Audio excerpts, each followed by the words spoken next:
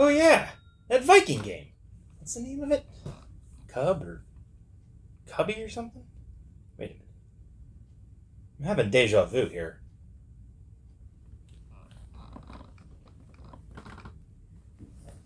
Yoo-hoo! Ah! Yeah, it's called a Kubb.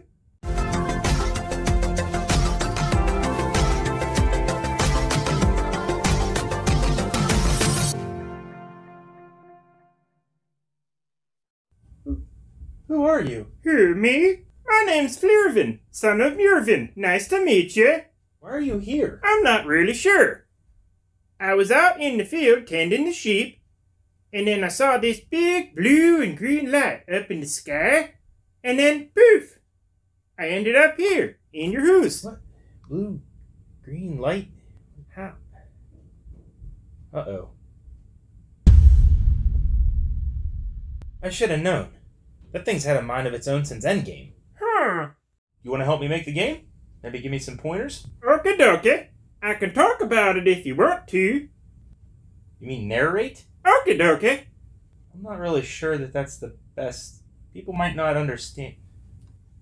Okay, sure. Why not?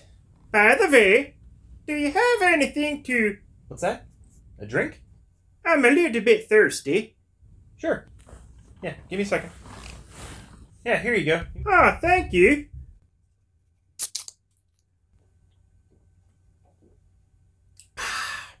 Ooh, tasty. Yeah, it's a, Tastes just like the mead we had back at the village. What you call it? a Red Bull. Oh, Red Bull. Red Red Bull. Boy, I love me some Red Bull. Oh, it's got a little bit of a kick to it, don't it? Well, let's go make the game.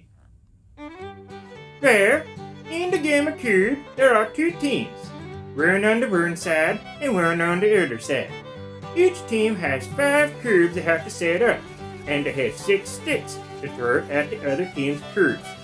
There's a king in the middle, but you don't want to knock him over first, or else you lose the game.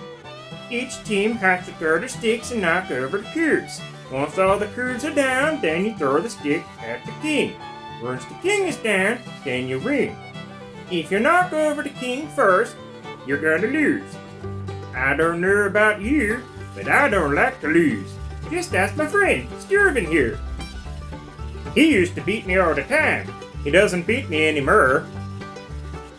Anywho, Hey, no, don't don't look up here. Just act natural.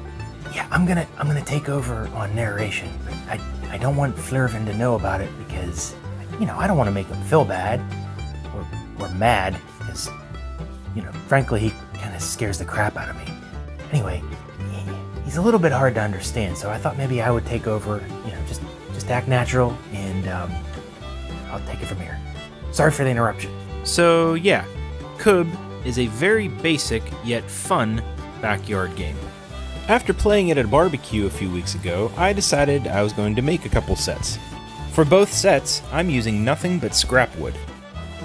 For the short kubbs themselves, I'm using 6x6s that I cut into 4s and then cut them down to size. The king is just a 4x4 post that I cut into two pieces. The batons are made from 2x6 scraps, 2x4 scraps, and a couple 2x10 scrap pieces.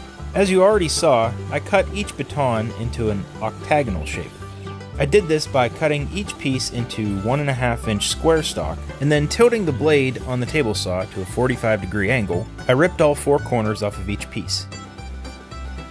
And you can see here, since the blade is still at 45 degrees, I'm going to chamfer all four corners on each king piece. I'll get more particular about the dimensions later on. Next up, using the router table, I'm coming in at 1 and 1 8 inch from each edge of those king pieces and cutting some cosmetic notches just to make them look a little nicer. To do that, I'm using this 90 degree V-shaped router bit. I completely extended the bit to add squared sides onto the angled notches. I didn't really need to do this part, but I thought I could make each king somewhat resemble a castle tower. Next, measuring down 4 inches from the top, I recessed the angle bit and cut notches on all four corners of the two king pieces. Looks a little more interesting than just a square block. Next up, it's my favorite thing in the world. Nope, not that. Yeah, that. A lot of that. It's okay though. I, I knew there was going to be a lot of sanding with this project. There always is. I'm very slowly getting used to that fact. Anyway, let's get back to talking about the dimensions of all those pieces.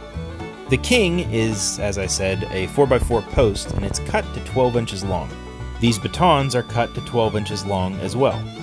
The batons are actually supposed to be made from 1.5 inch dowel rods, if you want to be technical about it.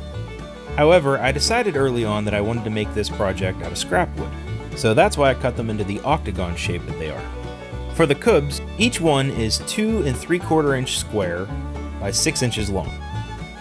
These pieces were made from 6x6 post scraps from when I built my deck a few years ago.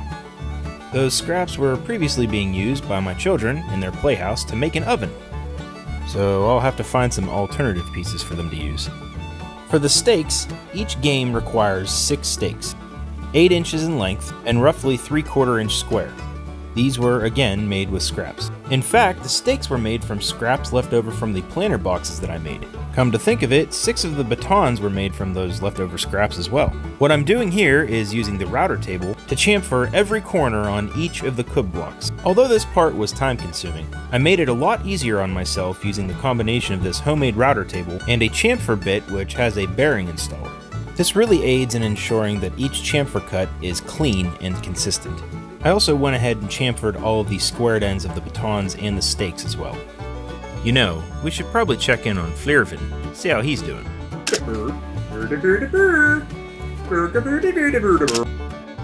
Yeah, that's pretty much what I was expecting. For the finish on this one set, I decided to use this paste finishing wax.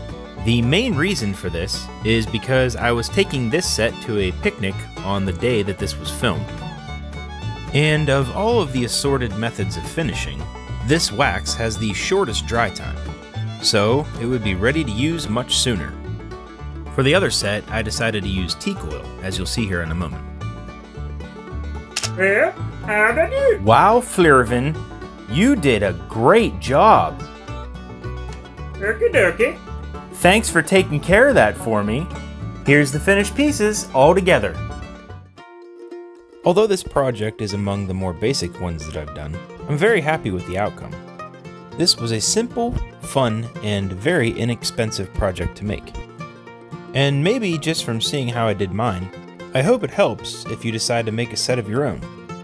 Because even though the concept of this game is very simple, it is a heck of a lot of fun.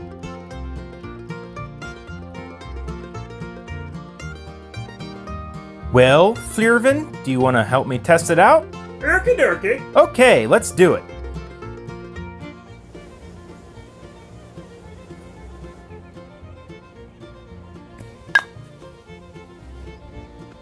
Well, that's three games in a row. Darn it, darn it.